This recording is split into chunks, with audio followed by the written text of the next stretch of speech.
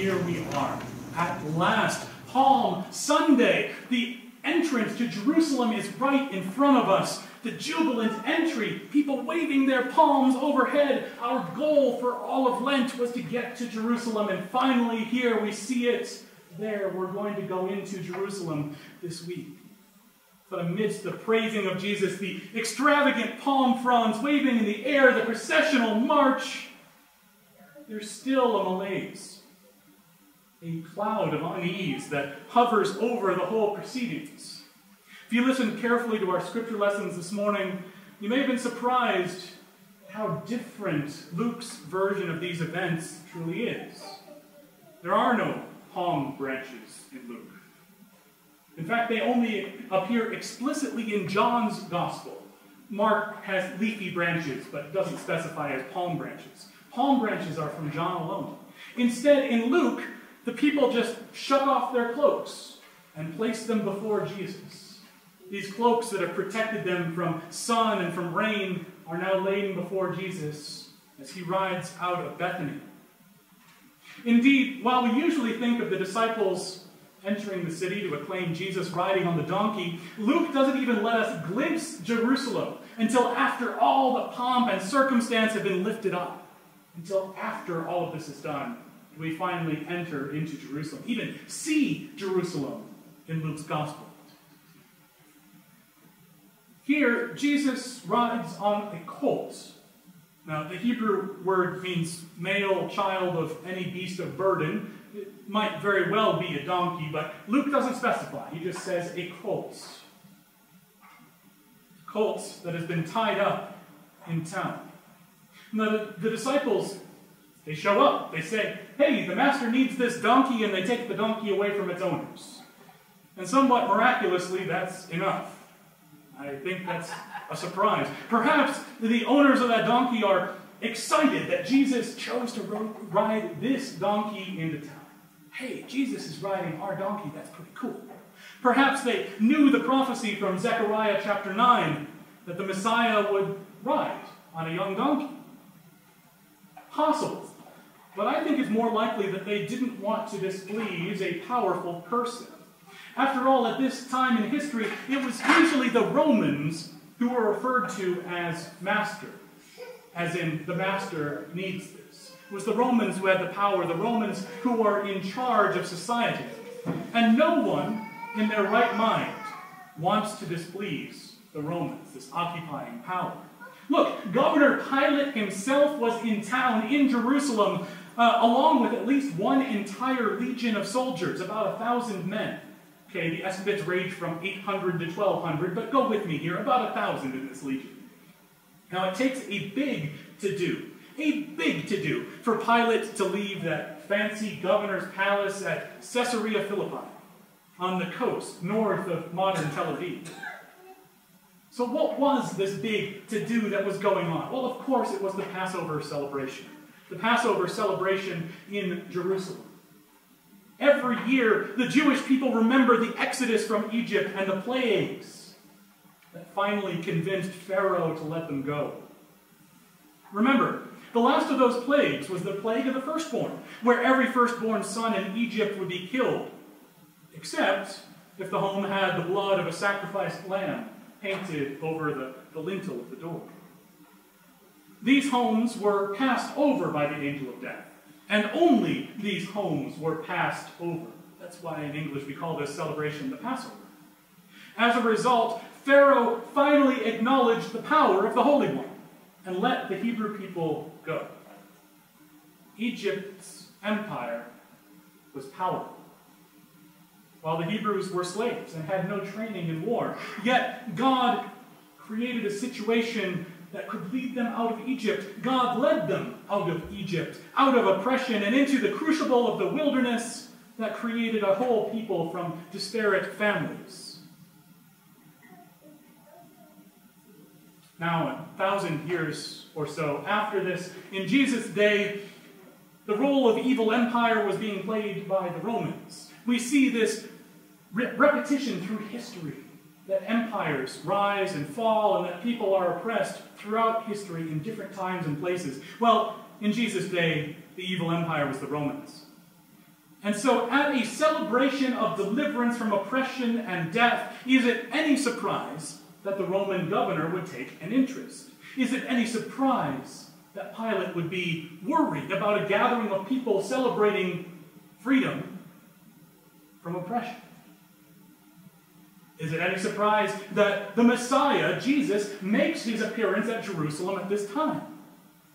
No wonder the disciples were excited. Even Judas, even Judas had to be thinking, this is it. Jesus will overthrow the Roman Empire. It's finally done. We're going to have an empire of Judaism to spread across the whole world. Here we have the Messiah. And so people are throwing off their cloaks, their protection from the elements, and spreading them before Jesus.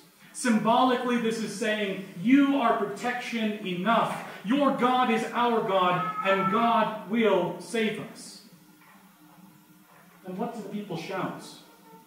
We think of Palm Sunday as a time of hosannas ringing out, Hosanna, Hoshiana, as we've sung in the service today. But not in Luke. In Luke, the cry is, Blessed is the King who comes in the name of the Lord. Peace in heaven, glory in the highest. You see, Luke is echoing not just Psalm 118, Blessed is the one who comes in the name of the Lord, but also the words of the angels appearing to the shepherds in Luke chapter 2. Peace on earth, goodwill to humanity, glory in the highest heaven.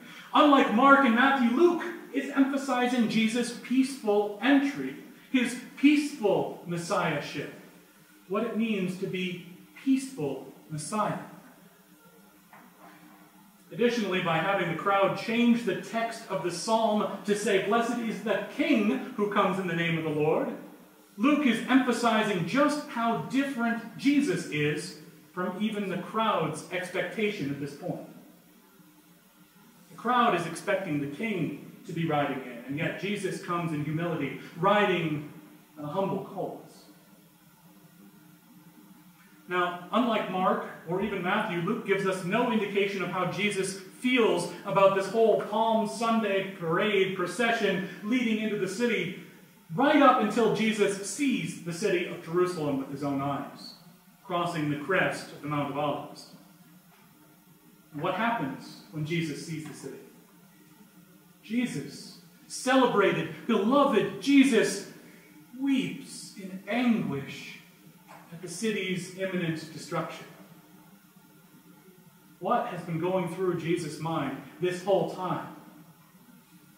What was Jesus thinking as the crowds are praising him? Well, if Jesus knew of the destruction of the city years after his death and resurrection, as Luke seems to portray here, then he also likely knows his own fated death on the cross. All the things that will happen during this Holy Week, Jesus is likely aware of them going into the city. To that end, I imagine him remembering the words of the prophet Isaiah. Remember, it's from Isaiah's prophecies and scrolls that Jesus read and preached at age 12. Jesus knows Isaiah inside and out. Jesus knows, Isaiah. And so it would not surprise me at all that he has this first person suffering servant in mind, thinking about it as he's going into the city. The Lord God opened my ear. I didn't rebel. I didn't turn my back. Instead, I gave my body to attackers and my cheeks to beard pluckers. I didn't hide my face from insults and spitting. The Lord God will help me. Therefore, I haven't been insulted. Now, Isaiah intended these words as comfort to believers in exile, those who were persecuted. And Jesus knows that this celebration only presages his own persecution to come. Yet he comes to bring a peaceful change, a revolution away from the empire minded world and to the equality of God's kingdom of heaven on earth. Richard Vinson, in his commentary on Luke, describes it this way his message, in other words, was not make me king or be destroyed by Rome. It was be transformed by God's rule into a kingdom with no rich and no poor, no powerful and no weak. Rejecting those terms of peace meant choosing the empire instead, where inevitably the weak are crushed. When the Pharisees asked Jesus to get his followers to shut up, I know it's not the politest of language, but that's what's going on here. Jesus doesn't shrink away, but tells them that even the rocks would cry out if humans were silenced. He has set his face like flint toward the city of Jerusalem, and yet even that stony demeanor breaks when he sees the beauty all at once from the top of the Mount of Olives. Jesus weeps and exclaims, How I wish you knew today what would bring peace. But you can't see. What is going on here? Well, most people in Jesus' day believed that Jerusalem, Jerusalem, Jerusalem, meant foundation of peace and prosperity. I mean, the connection with the Hebrew word shalom, you know this word, shalom, means peace and wholeness. The connection with shalom and shalem is pretty clear. We've got the same consonants, a few odd vowels thrown in, but that's Hebrew and Aramaic for you. Aramaic, in fact, is where shalem comes from. Aramaic meaning peace and prosperity, a little different from peace and wholeness in Hebrew. So Luke is, find, is pointing out that the so called foundation of peace, Jerusalem, Jerusalem, is unable to see what peace looks like. Peace is not rising up in arms against one emperor after another, one pharaoh, one Caesar, one emperor after another. Peace is not utterly destroying your enemies. As Tacitus wrote, they rob, kill, and plunder all under the deceiving name of the Roman rule. They make a desert and call it peace. Peace is seen in God's kingdom, where those that society has oppressed are lifted up, and those that society has lauded are brought down. Even Paul points this out in the Christ hymn of Philippians 2. For though he was equal with God, he took the form of a slave and submitted to death. Yes, even death on a cross. You see, Jesus riding on a donkey is proclaiming humble peace the humble reign of God. Here, the Son of God is, is not shined up, not slicked back, but merely riding on a donkey, a humble animal, into the city. The suffering servant of God, though he was equal with God, going into Jerusalem toward his own death, he embodies the spirit of Psalm 118, the spirit of Isaiah 50, the cornerstone that was rejected, now entering the gates of justice, proclaiming the glory of God, the glory of God's kingdom of heaven, which we pray this week, week in, week out, day in, day out. Your kingdom come on earth as it is in heaven. What does this look like today?